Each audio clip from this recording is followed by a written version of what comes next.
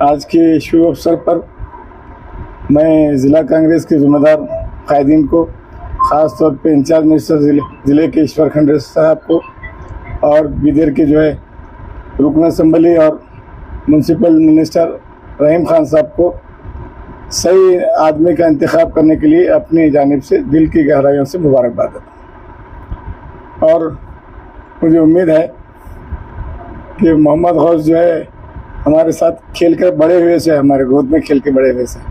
और बेहतर काम करेंगे और एक मिसाली अध्यक्ष साबित होंगे। मुझे इस बात की उम्मीद है और मैं अपनी जानब से बहुत दिल की गहराइयों से दुआगो हूँ कि अल्लाह ताला उनको ज़िंदगी की हर मंजिल में और कामयाब और कामयान करें। अस्सलाम वालेकुम।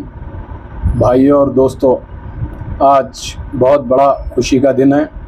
मेरे बड़े भाई फेरोज़ खान साहब उनके घर पे सीएमसी चेयरमैन बनने के बाद मुझे खाने पे बुलाया और पूरे तमाम मेरे साथ समीर कौंसलर जोशवा कौंसलर, मेरे बड़े भाई फेरोज़ खान साहब, उनके फरसन अफसर खान और उनकी फैमिली के ज़िम्मेदार मेरे भाई और अमजद घोड़ा और क़यूम भाई तमाम इस फ़ंक्शन में आए हैं और मैं दिल की गहराइयों से उनको मुबारकबाद देता हूँ, क्योंकि उन्होंने हर, जब भी हमारा एम एल इलेक्शन आता है बखूबी अपने जेब से खर्च कर कर इलेक्शन में काम करते हैं।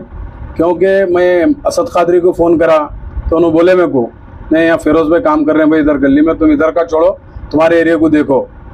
तो मैं जब यकीन हुआ कि एक ज़िम्मेदारी से उन्होंने काम कर रहे हैं तो बखूबी हमारा भी फ़र्ज़ बनता है, उनके अच्छे बुरे में बिल्कुल हम रहना साथ। और सबसे खुशी की बात है कि आज हम सब मिलके इस खुशी में शामिल हुए हैं। हमारे साथ बहुत पुराने दोस्त हाशम अली भी आए हैं आज।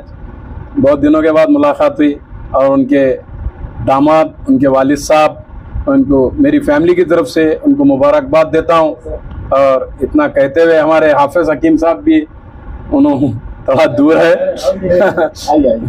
मैं मैं मेरी फैमिली की तरफ़ से, उनकी फैमिली को दिल की गहराइयों से मुबारकबाद देता हूँ। इतना कहते हुए मैं अपनी बात ख़त्म